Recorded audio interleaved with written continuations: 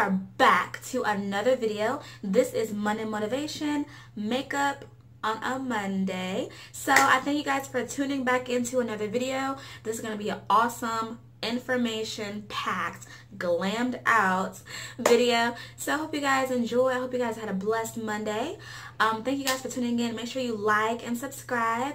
And stay tuned for all the videos because i have some surprises coming up. So stay tuned for the remainder of the video to figure out what the surprises are. Woo! So I love you guys. Make sure you go ahead and go to your Bibles. And Jonah. We're going to be coming tonight from chapters 3 uh, verses 1 through 10. So go ahead and pray us in. If you're new to the Butterfly Ambassador Ministries, welcome you. If you're new to my YouTube channel, welcome as well. So I'm going to pray us in. And Butterfly Ambassadors was um, bestowed upon me from the Lord. And it's just a fun, impactful uh, ministry where I am able to um, share the love of Christ with everyone that believes in him and just everyone that needs encouragement. So each Monday, um, there's videos where you're inspired and motivated, uplifted through the Word of God, through prayer with me, through connecting and holding each other accountable, and just meeting um, different kind of peoples at the areas of where they're at spiritually, and helping you guys grow, helping each other restore one another, and just loving each other, and just sh sharing the gospel in a positive way. So that's what the Butterfly Ambassador Ministries is about. Now, Butterfly Ambassadors Monday Motivation, that's just every Monday at 7 p.m. or 8 p.m. depending on the times. And it's on Facebook Live, YouTube, Instagram, Snapchat, Twitter, all social media. So make sure you stay connected with me. Um, so I pray with people. I communicate, you know, one-on-one. If there's anything you're going through, I'd be happy to pray with you and help you through that storm and know that you can overcome through Jesus Christ. So I'm going to pray us in. Um, God loves you so much. And we're going to pray and get started. All right? Holy Spirit, thank you for today. Thank you for all the butterfly ambassadors that are viewing this video. I pray that everything that's said from my mouth is replaced with you, not Jelissa's thoughts, not Jelissa's opinions, but just your truth, your word, your love, God. I just thank you for everyone that's um, watching this video. I pray that their lives are impacted. I pray that their mindsets are just focused upon you. Clear them from any distractions, clear them from any negative thoughts, any anxiety, God. We just bind anything that's not of you from them at this time. We pray for a powerful week ahead, a productive week ahead, and for them to keep persevering whatever they may be going through, that you will give them the strength to, to get through the week with joy, Lord. We just thank you for all that you're doing in our lives. So thank you for waking us up to see another day, Lord. We're just so excited for what you have for us tonight on this Monday Motivations. And we just thank you for all the viewers. We are inspired by your, your word and the story. And we just thank you for just um, implementing different various people that we can relate to that can help us in our journey in our spiritual faith walk with you as our leader. We just thank you, Lord, for just being patient, loving, kind, and genuine with us, God. Even when we stumble, Lord, we just thank you for your grace and your mercy, God, for you forever. But we just thank you for all that you're doing. We thank you for the viewers that will watch in the future. We thank you for people that have been watching since day one, Lord. We just thank you for everyone. And we thank you for just showing us um, how to be corrected in love and how to stay on the right right path, the right track, and have the right mindset and stay righteous. So we just love you, Jesus, and we just worship and praise you, Lord, in the name of Jesus for all that you do for us. And we just thank you for just counting things done in your name's sake and working all things out in your goodness. Even though we may see it look bad, but you always make things come out good in the end. So we glorify your name. We magnify you. We're, we're just happy to be in the midst of you, Lord. And thank you once again for another video. God bless you guys and amen. All right, guys, so let's get it started up. Make sure you get a pad to write down some notes and grab some people, share the video. I pray you guys are blessed by it. Let's get started. So I'm going to go ahead and get ready for the my motivation. We already prayed ourselves in. So um, today's look, I have no idea what the Lord wants me to do to my, my um, face today, but we're going to just let him have his way. But we're going to be coming from Jonah today. So if you have your Bibles open, open up to Jonah chapter 3, verse 1 through 10. Um, I have the King James version, so if you have a different version, that's okay. Just follow along the wish the best way you can. All right. So what I'm reading, um, Jonah chapter 3, verse 1 through 10. And the word of the Lord came unto Jonah the second time, saying, Arise, go unto Nineveh, the great city, and preach unto it the preaching that I bid thee. So Jonah arose and went unto Nineveh according to the word of the Lord. Now, Nineveh was an exceeding great city of three days' journey. And Jonah began to enter into the city a day's journey. And he cried and said, Yet forty days, and Nineveh shall be overthrown. So the people of Nineveh believed God and proclaimed a fast and a put on a sackcloth from the greatest of them even to the least of them. For the word came unto the king of Nineveh, and he arose from his throne. He arose from his throne. Pay attention to that, that sentence. And he laid his robe from him and covered him with sackcloth and satin ashes, sackcloth like burlap. And he caused it to be proclaimed and published through, proclaim means like decreeing a law, like creating a law published through Nineveh by the decree of the king and his nobles, saying, Let neither man nor beast, herd nor flock taste anything. Let them not feed nor drink water. Meaning, if you don't follow this law, you gonna be dead. You know what I'm saying? Like you're the death penalty if you don't follow this law. Okay. But let man and beast be covered with sackcloth and cry mightily unto God. So praising the Lord. Okay. Now, man, now just keep in mind that the the city of Nineveh they were as we would say atheists okay? So now that they're they're crying out to the lord this is the law that they have to abide to. Verse 8 yea let them turn everyone from his evil way and from the violence that is in their hands. Verse 9 who can tell if god will turn and repent and turn away from his fierce anger that we perish not? Verse 10 and god saw their works that they turned from their evil way and God repented of the evil that he had said that he would do unto them, and he did not. Goodness. Thank you. So we just read the scripture verse to Jonah. So I went on ahead and just um did my eyebrows off camera because I don't want to spend like five hours doing eyebrows. You guys have, you know, things to do. so I went on ahead and put some primer on my eyelid. Um, I suggest ladies use your pinky because it's the it's the lightest finger that we have on our hand. Um, if you use your middle finger, your ring finger, your index, your thumb, you're gonna be applying way too much primer. Excuse me on your eyelids. I just had lunch. Sorry guys. I'm sorry. But yeah, so I want to go back to a little bit back.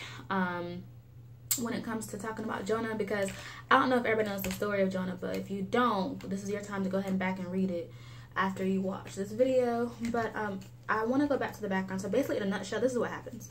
So uh, God calls Jonah to preach to Nineveh, and mostly like us, when God instructs us to do something, He expects us to do it. But um, we're just like Jonah.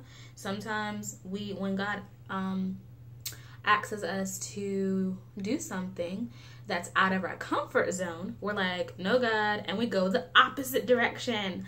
So that's what Jonah did. He got on this boat, y'all. Probably was like a little, little uh, wannabe yacht, you know what I'm saying? A little boat he went on, you know. And he goes another direction. Now, um, when he's on this boat, y'all, there's some um, some some of the Ninevites are on the boat, but some of the uh, pagans are on there as well, and they don't believe um, in Jesus. They believe like some parts, but not like the full totality of the Lord. So yeah. So anyways, so Jonah had the opportunity in this moment to preach the gospel of Jesus, right? So there's this crazy storm. I mean, the waves are just going rapid as if, you know, um, you know, like a beach storm, something like that. You know, you just see like a whole bunch of winds going crazy and the water just going sick.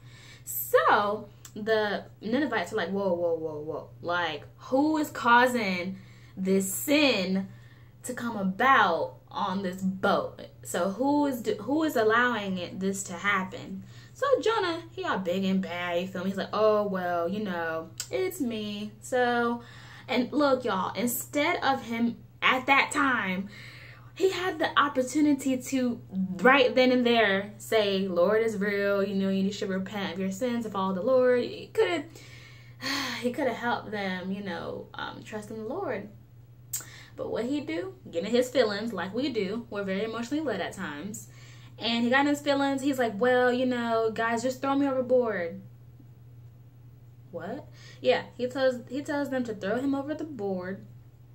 Well, not over the board, but overboard of the boat, and that way the storm will will cease. Crazy, right? So he rather give up his life instead of just following what God told him to do. We do this all the time. Have you ever, when you were younger, your mama told you to wash dishes, right? You said, all right, mom, yeah, okay, I do it. Hour later, you on that phone or you, you know, you doing something else. You ain't do the dishes yet, right? What she do? Didn't I tell you to wash the dishes? my mama I ain't have to hear that. I just got my hair, my my mouth pop, you know. But um, you know, or just like maybe your dad tells you to mow the lawn. What you do? Yeah, all right, dad, I got it, dad. You say that, right? But you don't go out there and do it. You wait and say, well, I'm gonna get to it, dad. Let me just finish this video game, dad. I'm gonna get to it, dad. All the stupid excuses. That game don't care about you. you better go mow that lawn.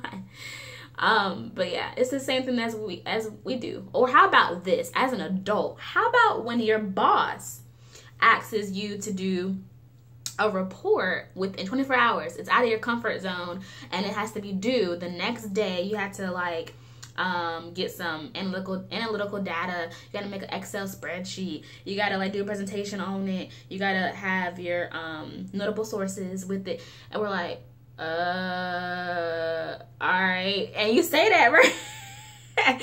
but in the back of your head, like, am gonna do this, Lord? And, and you you get it done, but you're procrastinating. Like you um, on social media, looking at people's news feeds, watching the stupid reality TV shows you're in the business watching uh-huh we get distracted. Instead of just doing what we were asked to do we find ways to distract we find things to distract us and we get in our own way and then we get ahead of god and then when things don't go the way we want them to go we get upset at god. When in reality if we would have just followed what god had instructed us to do in the beginning we wouldn't have to be dealing with the alternative of what happened because we're the reasoning why it happened.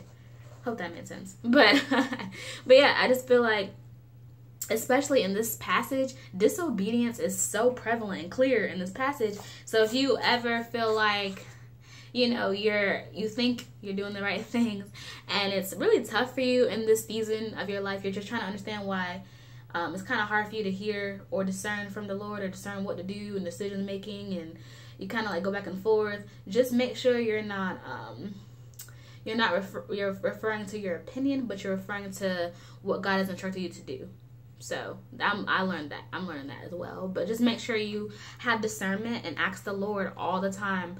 Um, and he'll, he'll, 999.9% we know what to do but we just opt that 1% because it it, it looks better it it um, feels better it is we can relate to it's comfortable for us um, but when we um, are challenged to do something that is not normal. I mean, think about it. Jonah had Jonah was called to preach to atheists. Like they don't believe in the Lord. So that that I'm pretty sure that was a big challenge for him. And plus, he had to travel 500 miles or so. I mean, if the passage says 3 days, some people say 40 days. Some people say 3 years. I mean, I'll research it and see, but eh, I just know it's a long time. I know that much. But the passage for the word of God says three days. So I'm just I'm gonna stick with three days. But I mean think about that. Would we really journey three days to preach to people that don't believe in the Lord? Like will we really will we really do that? That's what I, I really grasp from this passage is like, wow, you know, when God calls us to do small things like praying for your family member or you know, giving your friend who has no job income just to get them something to eat or give them some gas money in their car. It's, it's just amazing to me how we don't take the time to look out for someone else when God calls us to do that. Because you know the enemy is not going to tell you to give nobody no money. He he comes to kill, steal, and destroy. So you know that's not him. It's not your conscience. You don't have no conscience. It's just the Holy Spirit leading you to do the right thing. But you probably opt to do something else because you feel like that's not what you're supposed to do. You feel like you can't trust this person. The person did something to you in the past, whatever, whatever. So I just feel like when God calls you to do something in love, just do it.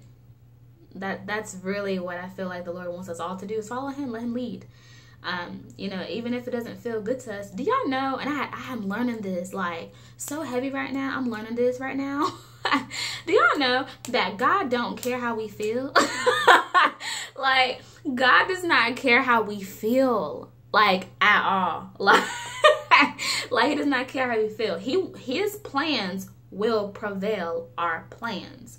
Now, yes, God cares for us. He comforts us. You know, he loves on us. But I'm talking about he don't care like for instance, the preacher asks you to, you know, read scripture aloud with the congregation. You're like, Lord, I don't feel like I don't feel like reading in front of these people. I'm shy. I don't know. God does not care about that. He wants you to read the word of God aloud to the congregation because you were asked to do it. Now, when someone says, go jump off the bridge, that ain't God. You feel me? Like, don't don't make it like a sarcastic thing. Like, no, that's not the Lord. But I'm talking about like simple things that we just revert from. We want to just do another thing. When someone asks you to serve in your church, you know, like be an usher or um, be in the choir. Like, nah, I'm not Beyonce. I can't sing like y'all. So, you know, I'm just gonna like do something else. You know what I'm saying? Like, no. if God is calling you to that area in the ministry, how do you even know he called you to sing? It could just be being assistant to the choir director. It could just be helping um, the little children, you know, sing and little children be being um, fearless to do what the will of the Lord said for them to do. You just can't be so quick to assume things. Or how about this? When the Lord calls you to go reach out to your mother, reach, reach out to your father on Father's Day, Mother's Day, Christmas time, Thanksgiving time, whatever it is, and you say, nah, I'm good because they're gonna bring up the last time I was over there. They're gonna bring up this other stuff, this other stuff. Why are you having those strongholds of guilt? In your heart. When your mom, all your mom wants to do is hear you say, I love you. Like, but we do this. we have these uh, preconceived notions and this mis misconceived, you know, thoughts in our mind that if we do this, this is how it's going to happen. When you have no idea how it's going to go down, but for some reason you allow the enemy to, to tap into your mindset and make you think otherwise than what the Lord is trying to get you to see. So my prayer is that um, you just follow what God's telling you to do and don't overthink, don't overanalyze. Don't be emotionally led and follow what the word of God is saying and don't be disobedient like Jonah right, was. So um, I went on ahead and added some eyeshadow. I did like a under a soft like a soft under tint pink. But I want to show you guys um, how to get the lippy that I did the other day. A lot of you guys are asking about the um, burgundy brown mauve kind of look. So let me show you what I do is my secret, okay? So you can use any um, black um, matte lip stick that you may have. I have the, it's called the Absolute New York matte lip. That's what it's called. Um, the Absolute matte lip. And this is black. The color is, you know, that shows you what color it is. This can be found at any beauty supply store. Um, I believe it's like a dollar ninety nine. I don't know, but this is what I use. So um, this is the matte black lippy, and then from um, Victoria's Secret, I use the um Sunset. It's about gone. I use the Sunset um, Victoria's Secret um, lip gloss. It's the uh, flavor of Punch Punch Love. It's really super old, um, but yeah. So this is what I use as the um, gloss. So you'll see what I'm talking about in a second. So, um, so I already applied some like lip, like chapstick, sorry, not lipstick, but chapstick on my lips already. So that's why they're kind of like moisturized looking. So this is what I do, y'all. That's all I do. So I get the, um, the lip glossy and just apply it to the lip. Not too heavy. This um, one in particular is very smooth. Um, it has like a glittery shimmer. So I apply it only only to the bottom lip because I have a big bottom lip. so um, yeah, and then you just kind of, cause it's it's a little sticky but not like heavy sticky. If that makes any kind of sense. So that's all I do. And then you just kind of go around. Slow, okay? Now I get the matte lip. And I know some of you like, what? I'm like, yeah, girl, this is what I do. I get the matte lippy. And then I kind of just trace the um, bottom line of my lip.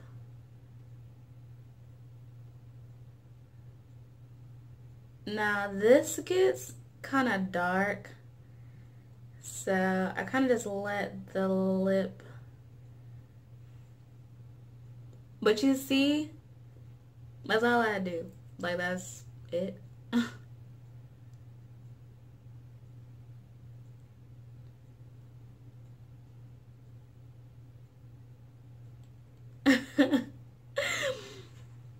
it's my cute. So not done, of course, because it look crazy right now. But hold on. So, like that.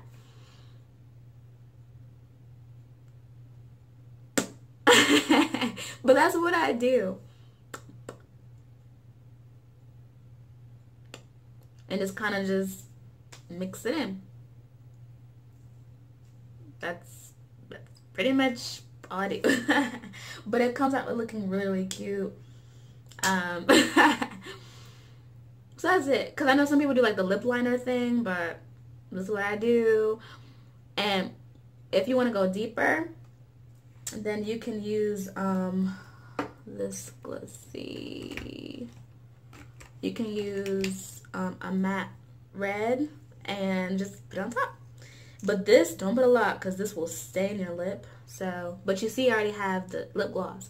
So it's easy to come off. So just kind of just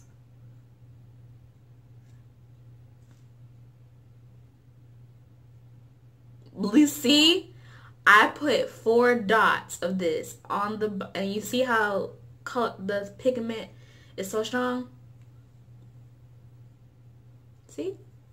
That's all you do. So it's the lippy. It's like a burgundy like mauve looking color but it's super pretty. Like it's so cute. Now I did a wash and go on my hair earlier this morning. That's why my hair is like still a little bit white because it's from the um, conditioner. But I think this is my best wash and go like to date. Um, I tried the um, new method well it's old to some people but it's new to me so I did it in the shower where I um I rinsed I like drenched my hair in water like oh my god you guys like my hair was soaked and then I just did the curls blueberry bliss hair reparative wash so I washed my hair with that twice.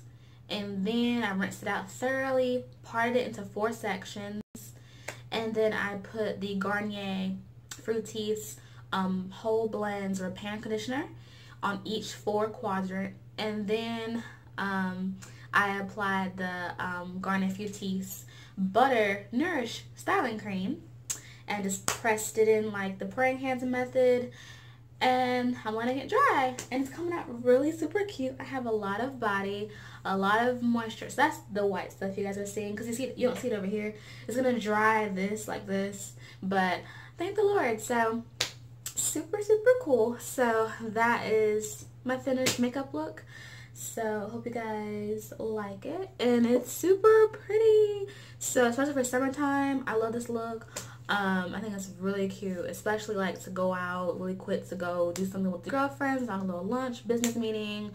Really simple, not too, too dramatic, but I think it's really, really pretty. So, yeah guys, so hope you guys like this look. I pray this video inspired you. I pray it encouraged you today. It's Monday Motivations Makeup on a Monday. So I pray you guys are blessed. Love y'all. Make sure you like, and subscribe to my channel and click that notification bell. It should be right below you so you stay in tune with all my upcoming videos because I will be doing a Sephora and a money giveaway coming up soon to only my subscribers. So make sure that you're subscribed you like comment on the videos have a blessed day know that God loves you and so do I. Be blessed you guys. See you guys next Monday. Bye